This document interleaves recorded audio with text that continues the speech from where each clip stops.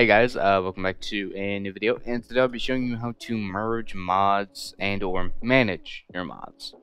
So, what you're going to need is just really any browser, and you're going to want to go to the uh, Mod Engine 2 page, which is obviously the first thing you're going to need. This covers literally everything. It really is, is only two things you need to download for the most part. I think three, maybe. Basically, it's the Mod Engine 2.10 win64.zip, which you are going to need to download. Since I already have this downloaded, I don't need to do it, but I'll show you again. Basically, file icon, you know, extract all.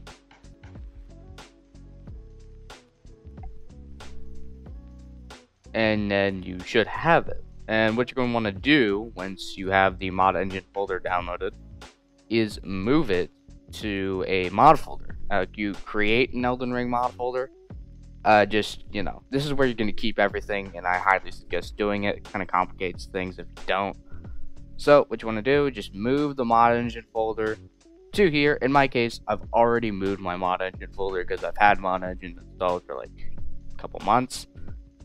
So, should have it somewhere around here. Yeah, right here. And once you do have it downloaded, I'm just going to go ahead and delete this since I already have it. Don't delete yours, obviously you need that. So, since I already have it, open Mod Engine, and yeah, you'll be introduced to this page, and you know, this is pretty much everything you're going to need, except for a few things. Now you are going to notice that uh, I do have a few other things downloaded on here, but these are like for other mods entirely and other things.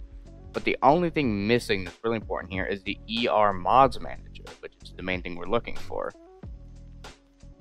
So once you do have the mod engine installed, you're going to want to go to this page right here, either link in the description or on Nexus Mods itself. And you're going to want to go ahead and download this. You'll be prompted to download the desktop runtime file Obviously, you do need to install that. You save, click on the file icon,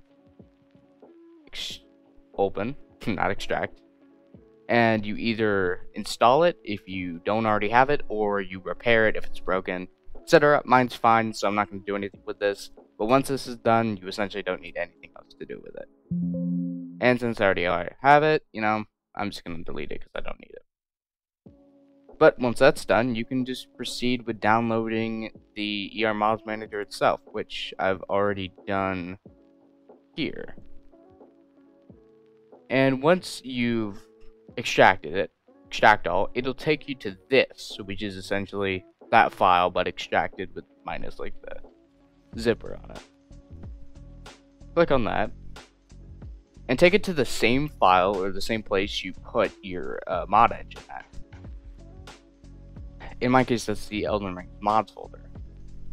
Pull up a separate tab of the File Explorer. Elden Ring mods folder.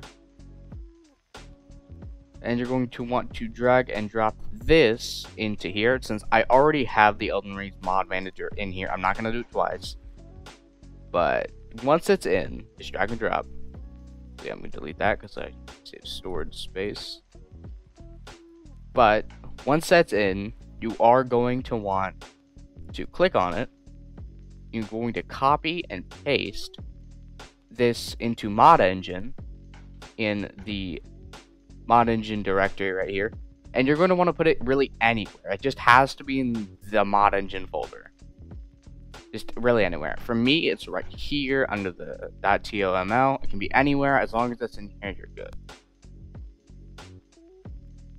Now, uh, where we are of course, with this, is since we have everything installed and we have everything we need, now it's just time to learn how to use the mod manager. Now, this part is probably the most simple. You are, of course, going to need mods to actually merge. You know, pretty self-explanatory. In my case, I keep all my mods in one folder, which is like 20-ish. So, what you are going to need is about two to three mods. I've never messed around with more than four. Four is like a hard cap because the more mods you try to merge at once, the more conflicts you're gonna have, and like the less complete each mod's gonna be. I typically try to do two, maybe three. You know, the less mods you're trying to merge, the better. But in this certain scenario, just pick two or three. So, obviously, you are going to want to open the mod manager. And for instance, I was already using this earlier. And it is a shortcut on my desktop, which I do suggest doing if you just want to be able to launch your games the moment you get on. And there's a launch mod album shortcut right there too. So for me, I have my God mode save file, which is like max stats, max everything, and the God mode Crimson Amber Medallion, which you know are obviously compatible. Now this will not fix, you know, obviously conflicting mods. It'll only merge them, and the conflicts that it finds, it'll just delete straight out of it. So if you find any problems with it, it's just gonna either it's to pick and choose which parts of mods has to go and which parts of the mods are to change. Now, depending on which mod you put in the order, it will prioritize that mod. So at the top of the priority list, I have my God mode save because obviously I want that to operate the best. That means the system will say that this is the most important file out of any and all of these on the list. And obviously since I only have two, I'm going to put the second one just right under it because it's second priority. Now, uh, some files will not merge properly. Um, something like Vergil, Sparta, like uh, this is a Vergil skin, that will not merge because that it will not merge because it's not really compatible and it doesn't have a regulation bin. It's parts, it's BNDs, it's not, it's not gonna work. There's certain things will not, you know, obviously go together, but most things do. Once you find two mods that you believe are compatible, just go ahead and merge.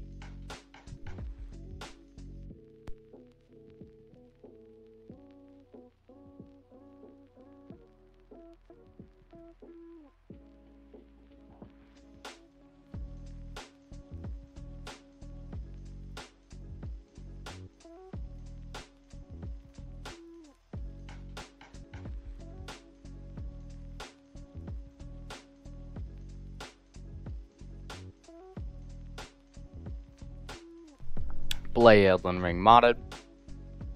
And that should really be it. And at this point, this is just the end of the video. Um, the rest of this video is just going to be, you know, me showcasing the mods, the abilities, and, you know, a few other things as well.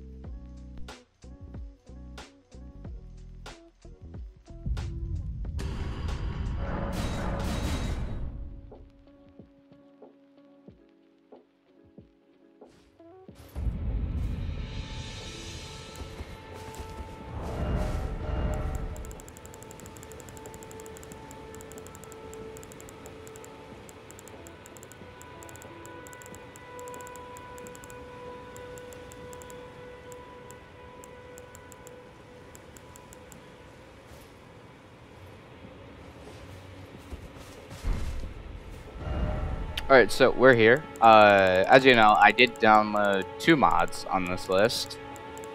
One was the Carry and Combos God Mode pack, and the other was the God Mode Medallion. So, um... Put that let's see if it works.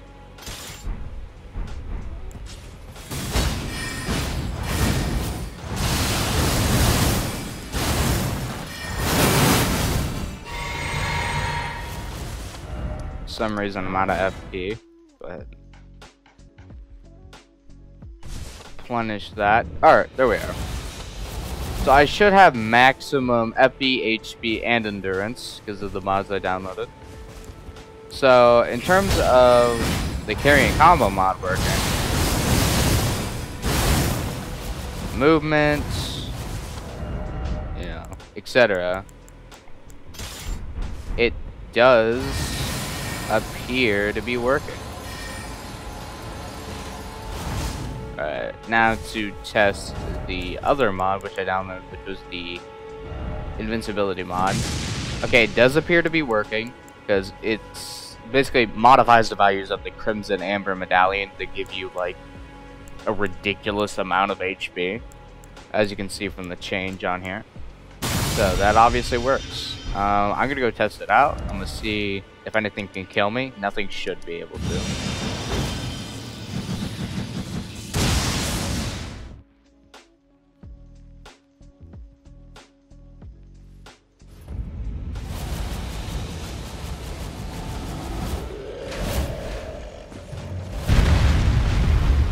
Obviously, as you can see, I don't take damage.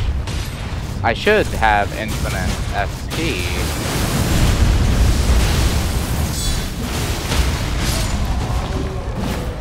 Hmm. Don't know what happened to my SP there.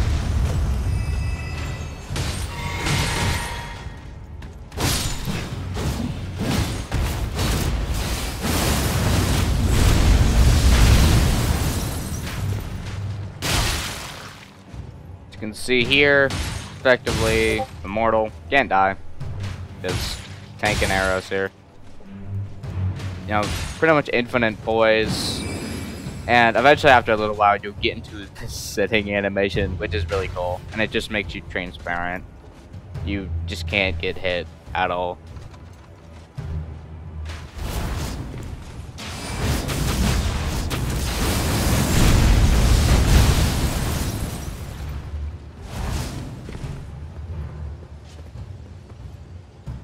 Alright, I mean, that's about it. Uh, yeah. Have any questions, comments, concerns? I mean, pretty simple video all around. Shouldn't be that hard to do, you know. Alright, well, uh, guess that's it. See you next video.